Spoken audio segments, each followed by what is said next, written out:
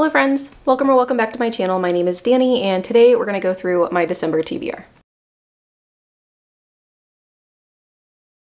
As it is the end of the year, I definitely have uh, more reading that I would like to get done that I know I'm not going to be able to complete in the month of December, but I'm just going to throw everything at you that I would like to read this month. Uh, and I know some of these will get done, but uh, some of them are definitely going to have to wait until next year. But these are my current plans for the books that I intend to read this month. I am currently in the middle, which this is crazy, I'm in the middle of five books right now. Uh, I usually only have three books uh, like on my current list. Usually I read uh, one book on my Kindle, one book on audio, and one book physically, and uh, I've gotten a little involved in several physical reads, and so I actually have five books going on right now.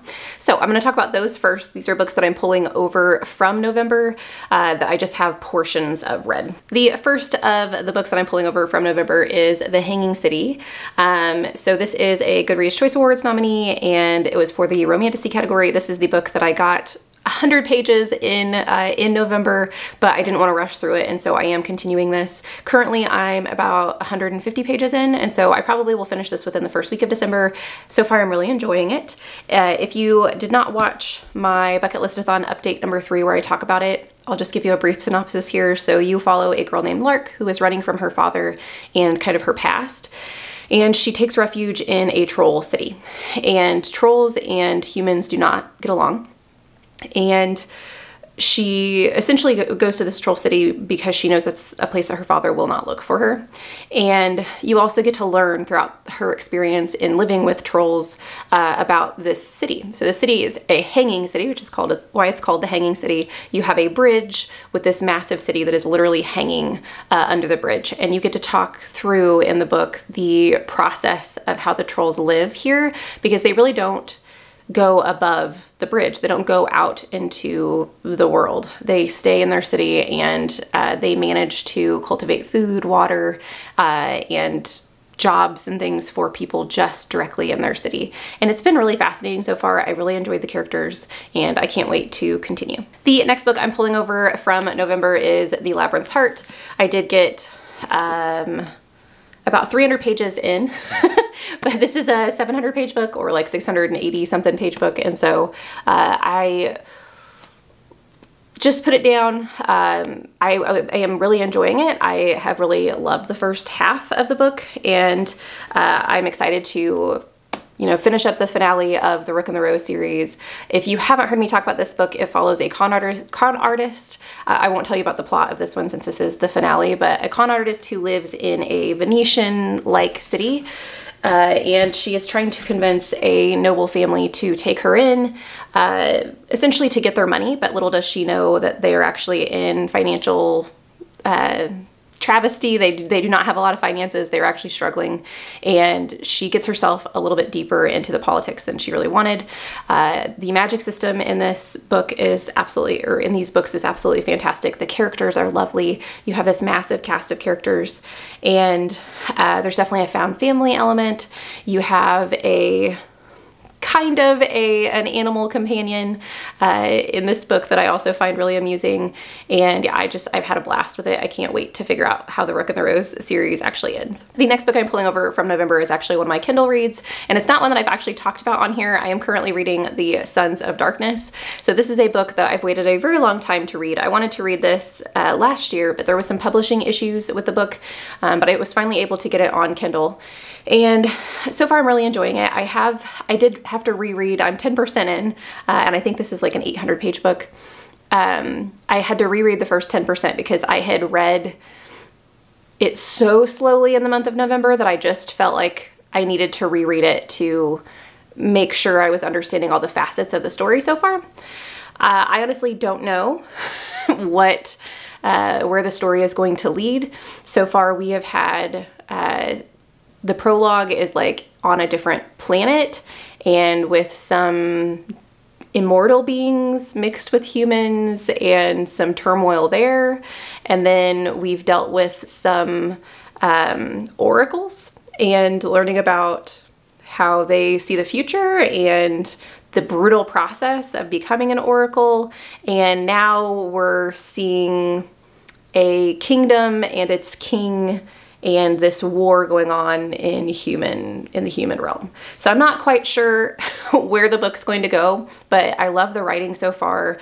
The characters have been really interesting. The the the prologue storyline I found so far, so the fact that we have the three different things going on, um, each one has characters that I'm really interested in. And so I don't know if we're ever going to get back to those characters or if, I don't know, because I, I, don't know where the book's leading, but I, have been fascinated so far. Uh, this is supposed to be uh, inspired by, um, I think it's some form of Indian mythology. There's a, a story that I'm not going to be able to remember the name of um, that it's inspired from, and the, the author's note talks about it.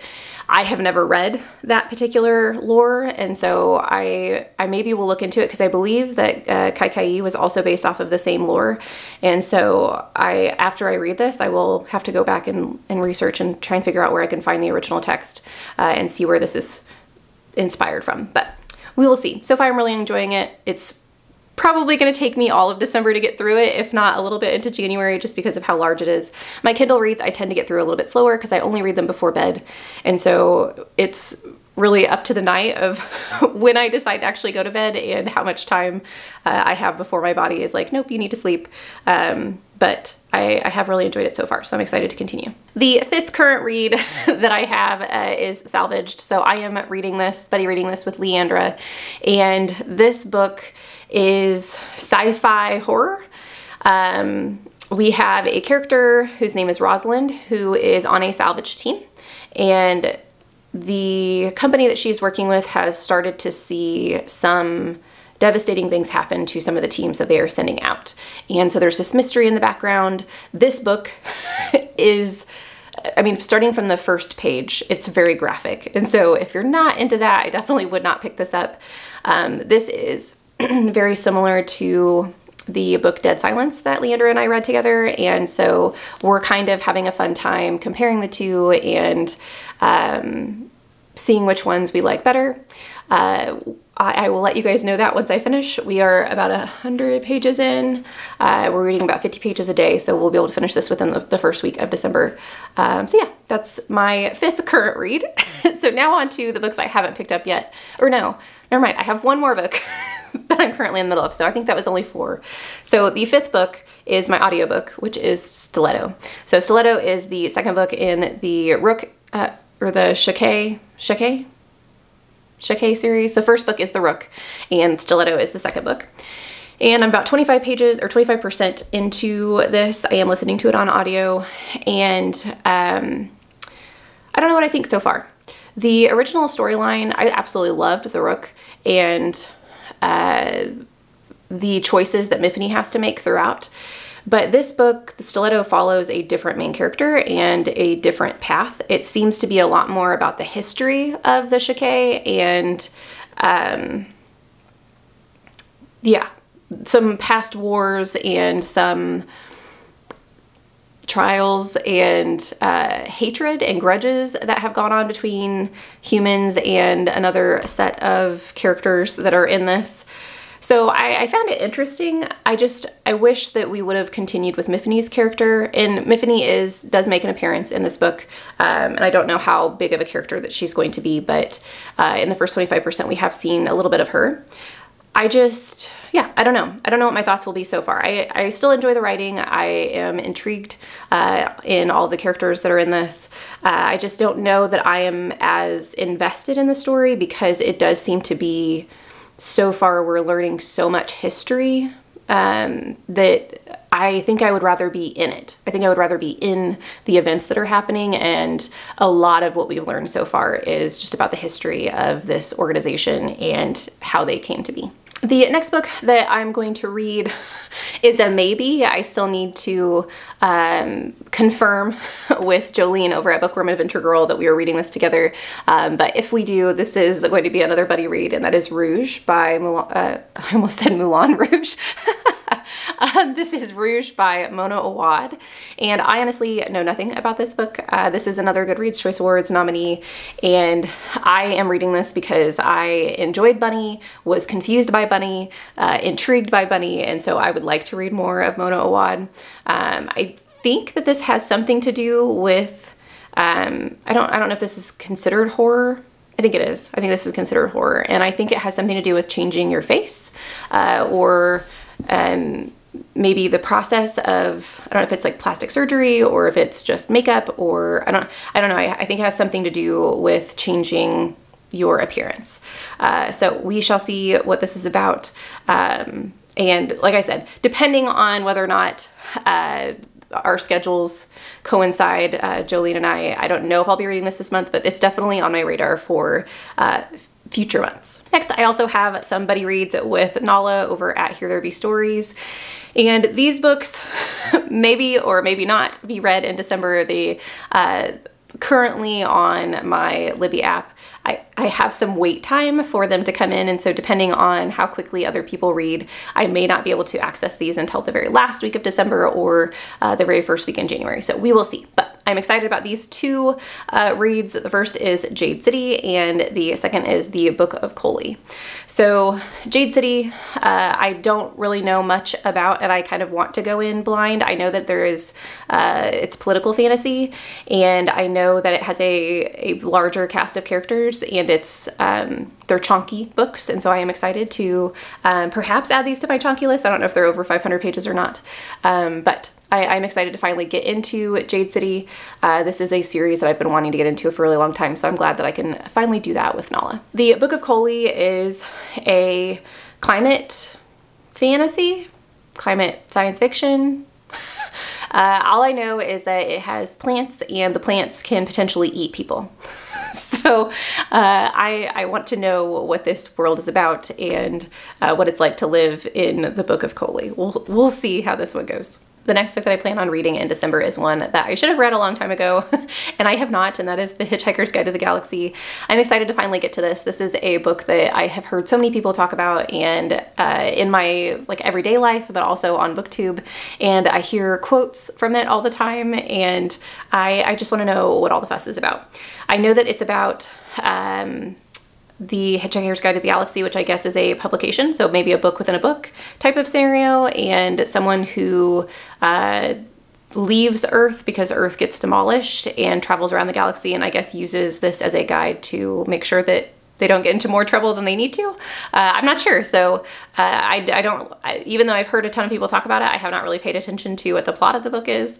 Um, but I am excited to finally get into this. I've heard people say that it's hilarious. Uh, and I, yeah, I can't, I can't wait. Next in December will be Nestlings by Nat Cassidy. So I am excited to pick this up mainly because I have read Nat Cassidy's book Mary and absolutely loved it. And so I just want to read more of Nat Cassidy's works. This book uh, follows a couple, and I believe that couple has just had a baby. Uh, the birth of the baby was very, very hard on the mother, and so the mother is having some medical issues. And um, while the baby is very young, some odd things are happening to the baby that the parents really can't explain. That's all I really know. Uh, but I'm, I'm just excited because I absolutely adored Mary. The um, the social commentary that Nat Cassidy had in that book, but also the un unexpected hero, I guess, of the story. The story surrounding the main character in Mary uh, was absolutely fantastic and intriguing and it pulls you in. Uh, I loved the components of her growth throughout the book and her kind of coming, uh, the the storyline in that book about hating aging and uh, kind of having to come to terms with your own demise in a way uh, was really intriguing and I like how Nat Cassidy handled it and so I'm excited to read more horror novels by Nat Cassidy. Next is Furies of Calderon by Jim Butcher. This I am reading because I am curious. On one of the sprints that we had in November, a um, one of the people in the comments, his name was Zach, I can't remember what his last name was, mentioned that Furies of Calderon um, is very similar in plot to the book that wouldn't burn. So much so that some people would say that the uh, one book was, which it would be the book that wouldn't burn, was based off of uh, some of the events that happened in Furies of Calderon. And so I would just like to see for myself and compare and contrast uh, and see if I agree with that assessment or if I can at least see like the inspiration behind it. Um, so yeah, that is one of the books that I will be reading in December. Next is The Narrow Road Between Desires. This is another uh, novella by Patrick Rothfuss uh, that is in the King, King Killer Chronicles realm. I believe that this one follows a character named Bast and his backstory. And so I am, I, I absolutely loved the silent regard of or small slow regard of silent things uh, which was his other novella and so i am excited to read another novella by patrick rothfuss his writing and his prose never disappoint uh, so even if i don't enjoy the story i will at least uh, enjoy the his, his writing, but I have not been disappointed by one of his stories so far, and I really enjoyed the character Bast uh, in the Kingkiller Chronicles. I will not tell you about Bast because I don't want to spoil anything if you guys have not read The Name of the Wind, um, but it is from the original Kingkiller Chronicles series that Patrick Rothfuss wrote. The last three books that I have for this crazy TBR is uh, three rereads. So one of the things I would like to do in December, because I like end of year content, I want to make my top lists and put those out in December, but I also don't want to essentially not put the books that I'm reading on December on those lists because I haven't gotten to them yet. And so I think the last at least week of December, I'm going to be focusing on some rereads uh, for the year. So the first book that I will be rereading is The Well of Ascension, which is the second book in the Mistborn Era 1. So I was supposed to reread all of Mistborn this year and I did not get to that. I only got to the first one, but I am excited to start the second series. If you haven't heard of Mistborn, you follow a young urchin girl named Vin who is um, has some magical powers. I, I, won't go too much into that, uh, but she lives in a city essentially where the bad guy won. And so you have the Lord Emperor who is not a very nice person. The people kind of live in destitute and there are two sects of people that uh, there is essentially like a a revolution that is coming and then gets mixed up in the turmoil of that. So this is uh, her story. And The Well of Ascension, uh, if I remember correctly, was my favorite from the first trilogy. Uh, I don't know if it won out over the very last one because I really enjoyed the ending of Mistborn, but we shall see. Uh, so with this reread, uh, I'm excited to get to this. The next reread is The Invisible Life of Addie LaRue. This was one of the books that uh, inspired me to start a YouTube channel. And this kind of happened, uh, I read The Invisible Life of Addie LaRue kind of right at the start of COVID, and it definitely uh, gave me a place to feel safe within books and escape uh, reality a little bit. If you haven't heard of The Invisible Life of Addie LaRue, you follow Addie LaRue, who makes a deal with a dark being. Uh, and she essentially can live forever, but whenever she talks with someone, uh, as soon as they turn away from her or walk away from her the if they sleep they completely lose any memories that they had of her. And so she goes throughout her life being forgotten completely. And uh, you get to see the repercussions of that the repercussions of living forever. Um, the loneliness that she goes through i absolutely love this book the first time i read it and i can't wait to read it again. And the last book on this tbr the last reread for the year will be the girl who drank the moon. Um, i figure with the invisible life of addie larue uh, which is a little bittersweet and sad. Uh, and the Well of Ascension, I, I also wanted like a lighthearted, uh, kind of fun read, although she Who Drank the Moon, or The Girl Who Drank the Moon also has some darkness in it as well, uh, or some sadness, I shouldn't say darkness. But if you haven't ever heard of The Girl Who Drank the Moon, you follow uh, a young girl, I can't remember her name, um, but she's from a village where once a year this village abandons a baby in the woods because they believe that there is a witch in the woods that they have to protect themselves from, and so they give this sacrifice every year so the witch will leave them alone. And on the other side of things, you have a witch in the woods who goes to this village every year because she knows that this village abandons children and she doesn't know why um, but she always goes and takes care of the children and will take them to neighboring villages to adopt them out to make sure that the children are well, well cared for cared for. Well one of the children that she picks up um, is this young girl that you follow throughout the book and she uh, ends up ingesting more magic than the witch anticipated and so the witch decides to adopt her herself um, so she can take care of her because it can be dangerous to put a magic wielder into the hands of someone who does not know about magic. And you get to see this little girl grow up with the witch and this lovely cast of characters in the woods and it's just a heartwarming story. I really enjoyed it. Uh, it was one of my top books of the year last year and so I thought it would be a great topper uh, on the year of 2023 so that is my absurdly long TBR for this month. I know that I'm not going to get through all of these, but those are my goals uh, to get through this year. What are you guys reading in December? Let me know in the comments down below. Uh, what are you most excited to read in December? And what was your favorite book from November that you read? Thank you guys so much for watching this video. I hope you have a lovely evening, and I'll see you in the next one. Bye.